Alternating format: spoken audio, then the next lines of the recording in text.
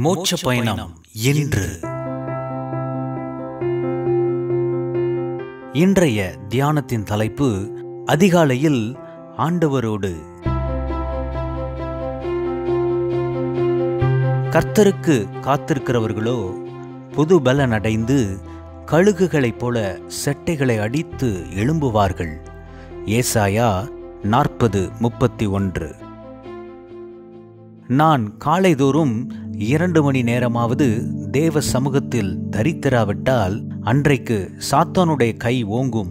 ஜெபம் கூடும்போது ஜெயமும் கூடும்.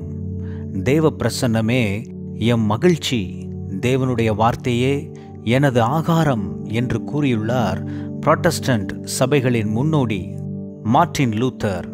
ஆயிரக்கணக்கான சிறு பிள்ளைகளை தன்னுடைய விசுவாசமுள்ள ஜெபத்தினால் வாழ்நாள் முழுவதும் போஷித்து வந்த ஜார்ஜ் முல்லர் அறுபத்தைந்து வருடங்களாக என் படுக்கையின் அருகில் ஒரு பாத்திரத்தில் குளிர்ந்த தண்ணீரை வைத்துக்கொண்டு அதிகாலையில் குறித்த நேரத்தில் எழுந்து முகத்தை கழுவி தேவனோடு ஜெபிக்கும் வழக்கத்தை கொண்டிருக்கிறேன் என்றார்.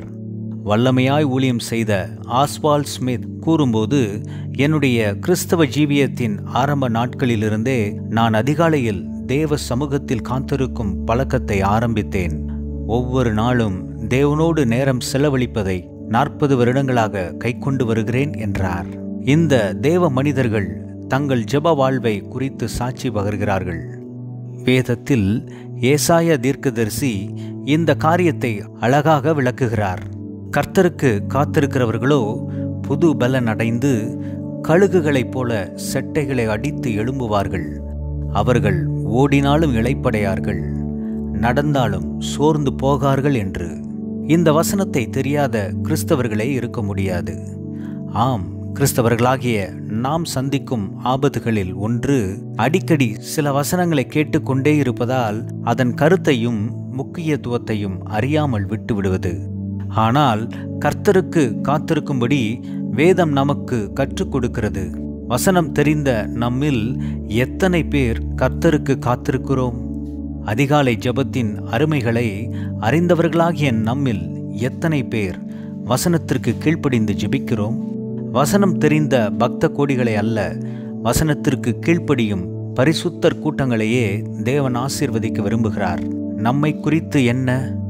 இப்பொழுதெல்லாம் சீக்கிரமாய் எழுந்து பள்ளிக்கு சமைக்க வேண்டியதில்லை என்பதால் அதிகாலை ஜபமே மறந்து போய்விட்டது. அப்புறம் அப்புறம் என்று நாளும் முடிந்து விடுகிறது. தேவ ஜனமே தேவன் நமக்கு கொடுத்திருக்கும் இக்கிருபையின் காலத்தை பயன்படுத்தி ஜபத்தில் வளருவோம் புதுபலன் அடைவோம். அப்பொழுது சூழ்நிலை எதுவானாலும் நாம் சோர்ந்து போகவும் மாட்டோம் இழைப்படையவும் மாட்டோம். அல்லேலுயா.